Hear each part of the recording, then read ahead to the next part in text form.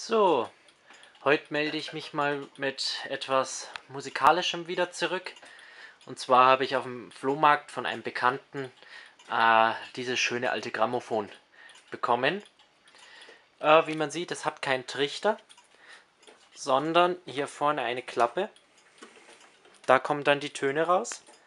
Der Vorteil des Ganzen ist, je weiter natürlich die Klappe offen sind, desto lauter ist es. Also man kann hier die Lautstärke einstellen. So ist es leise, wenn die Türen geschlossen sind und wenn sie offen sind, ist es laut. Je nachdem, man kann auch dann die Richtung, dann schallt es mehr in die Richtung.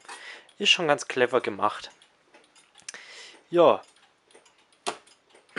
Dieses Grammophon ist von His Master's Voice. Aber kein Nachbau in dem Sinn, sondern wirklich schon ein altes Ding. Und ich habe das Werk, das da drin ist, das Federwerk mal gereinigt. Und werde es mal aufziehen. Leider ist die Bremse kaputt, weswegen ich die Platte festhalten muss, während ich hier aufziehe. Das dauert natürlich auch ein Weilchen.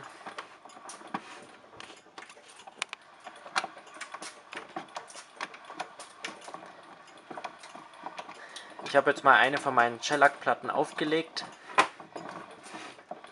Eine, oh, da braucht man schon viel Kraft, also für die Oma ist das nichts mehr. So, und werde dann mal den Tonarm auflegen.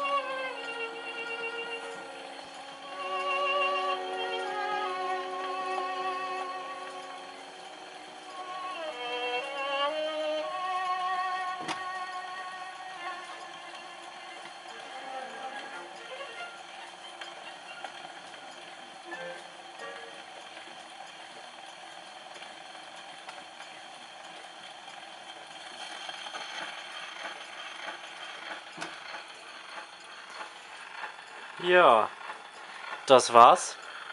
Ich werde ja sehen, ob die GEMA das Video mag oder nicht. Ich habe nämlich keine Ahnung, ob auf dieser Platte die GEMA irgendwelche Rechte drauf hat.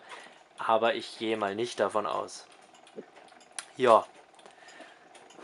Wie gesagt, die Bremse ist leider kaputt. Vielleicht lasse ich mir noch irgendwas einfallen, vielleicht lasse ich es aber auch einfach so. Und ja, dieses Grammophon, ich habe keine Ahnung, wann es gebaut worden ist. Ich schätze mal so ungefähr 1930, 1940 rum. Das Schöne ist, dass noch ein paar Ersatznadeln dabei waren.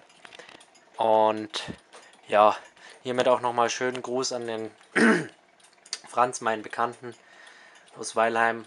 Und nochmal vielen Dank für dieses schöne alte Grammophon. Ich werde es in Ehren halten.